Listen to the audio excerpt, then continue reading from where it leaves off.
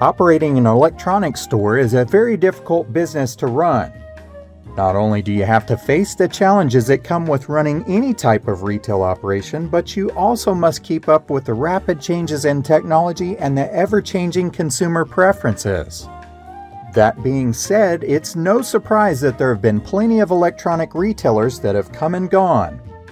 In this video, we will have a look back at some of the more prominent electronic stores that are no longer around.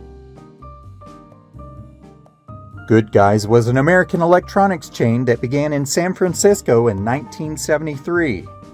At their peak, they had 71 stores in California, Nevada, Oregon, and Washington. In 2003, CompUSA purchased the company, and by 2006, all remaining stores had closed. Good Guys is also well known for a 1991 hostage situation in Sacramento, California. The Incredible Universe was a big box chain that was established by the Tandy Corporation, which was a leather goods company. They initially opened two stores in 1992, one in Arlington, Texas, and one in Wilsonville, Oregon. When these two stores became profitable, they quickly opened an additional 15 stores. However, competition from other successful electronic store chains proved to be too much, and Incredible Universe closed down for good in 1997 after five short years in operation. Fretter was an electronics and appliance retailer that was based in Detroit and founded in the 1950s by Ollie Fretter. He became famous for his promise that he gave in commercials on television. I'll give you five pounds of coffee if I can't beat your best deal. The competition knows me. You should too. Occasionally, he had to make good on this crazy offer, which got even crazier. Fretter gave away one pound cans of coffee that had been relabeled as net weight 5 pounds. The company faced increasing competition during the 1990s and it went out of business in 1996. Highland Superstores was founded in 1933 in Highland Park, Michigan. By the end of the 1970s, the chain had 18 stores throughout the Midwest. When the chain went public in 1985, they were the second largest American electronics retailer behind Circuit City. But by the end of the 80s, the company began to experience financial troubles. Highland Superstores filed for Chapter 11 bankruptcy in 1992 and liquidated their remaining stores in 1993. Tweeter was a major force in the world of electronic retailers. It was launched in Boston in 1972 and quickly expanded in the New England area. The company would eventually rise to more than 100 stores in 18 states under the names of Tweeter, Hi-Fi Buys, Showcase Home Entertainment, and Sound Advice. In 2007, they filed for Chapter 11 bankruptcy and closed 49 stores. They tried to restructure, but they were forced to close in 2008. Crazy Eddie was a consumer electronics store chain that began in Brooklyn, New York in 1971. During the 1970s, they took the tri state area by storm thanks to some of their memorable commercials. The TV spots starred DJ Jerry Carroll, who enticed customers by pretending to be crazy. At their peak, they had more than 43 stores in four states. But the company folded in 1989 thanks to the founders being involved in some fraudulent business practices. The Wiz became known for its popular slogan, Nobody Beats the Wiz. It was founded by four Jemal brothers in New York City in 1977. During the 1990s, they saw some big success. But in 1998, after expanding from roughly 20 stores to over 80 in less than a year, the chain filed for bankruptcy. They were purchased by Cablevision, who then took them to 94 stores. However, even with their help, it wasn't possible to keep the Wiz flowing, and the brand was shut down. The Ultimate Electronics store started in 1968, and originally they had operated under various names. Ultimate Electronics began a large expansion campaign in 2000, and by 2004, the company had doubled its store count to 64. They filed for bankruptcy in 2005, which seemingly saved them.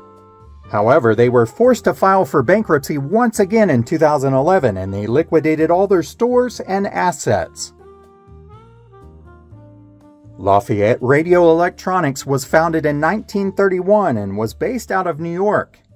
The business started out as a mail order delivery operation and later began opening brick and mortar stores all across the U.S.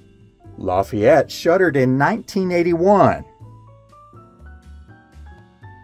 Sun Television and Appliances was founded by brothers Macy and Herbie Block in 1949. They opened stores throughout the Midwest and also in rural areas where there was no other competition. In 1996, the company was set to be purchased by H.H. Gregg Appliances and Electronics, but they backed out of the deal. Two years later, Sun filed for bankruptcy and had to liquidate. Steinberg's electronics store was a family business that began in Ohio in 1921.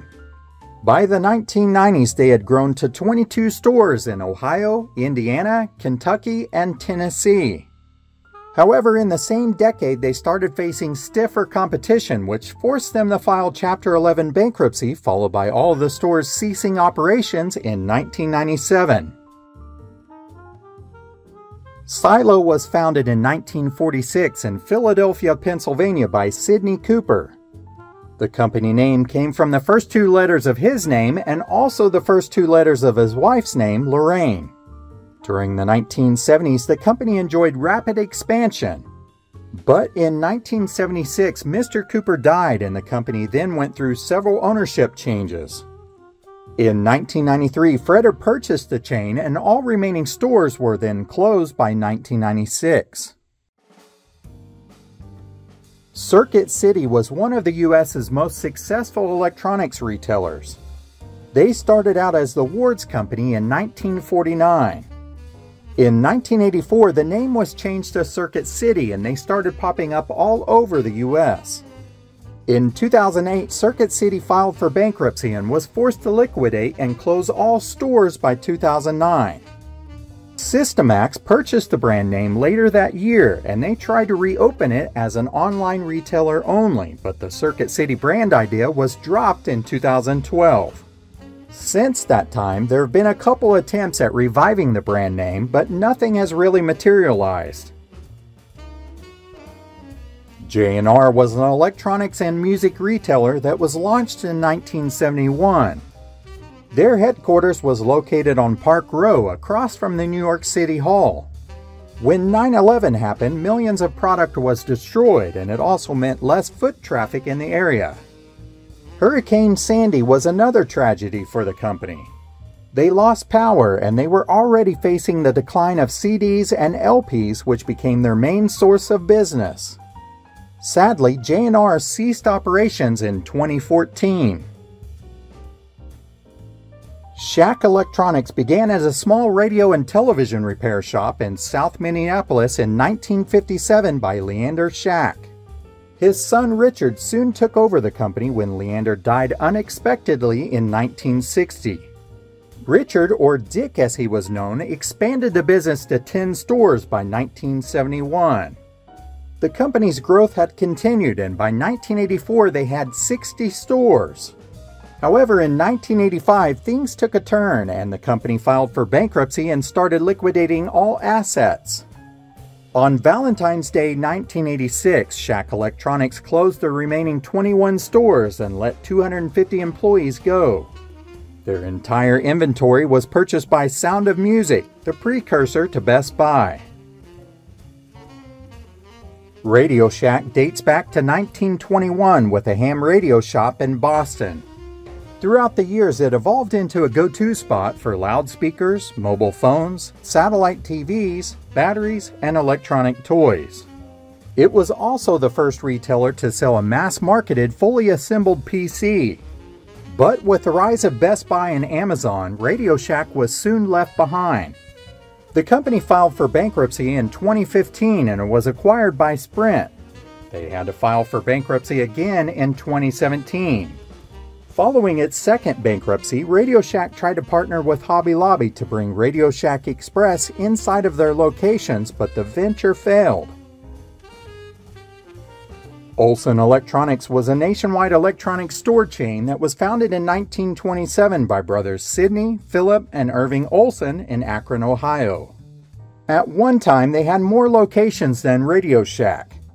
They sold to Teledyne in 1968 and were rebranded to Teledyne Olson Electronics. They later sold to three Chicago investors in August of 1984 and they filed for bankruptcy in 1985. Fry's Electronics was an American big box store chain that was headquartered in San Jose, California. In 1972, Charles Fry sold the Fry's supermarket chain for $14 million and gave each of his three sons $1 million each. In 1985, they pulled together to launch Fry's Electronics. They used the model of the grocery retailing to sell computers and electronics. They never were as big as Best Buy, but they sure had their corner in the market. Each store had its own theme, which was unlike any other electronics store around. In August of 2014, they operated 34 brick and mortar stores in 9 U.S. states 17 in California, 8 in Texas, 2 in Arizona, 2 in Georgia, and 1 each in the state of Illinois, Indiana, Nevada, Oregon, and Washington. In 2019, they were working on restructuring their stores, but when 2020 hit, it took a toll on them. By April of 2021, they began to liquidate all the remaining assets, including the real estate. Many of these electronic stores are places where we got introduced to some life-changing products. We made memories there, and some of them are still talked about today. Sadly, time has moved on and left these stores in the past. What were some of the electronic stores that you loved to shop at? I'd love to know more in the comments below. Thanks for watching.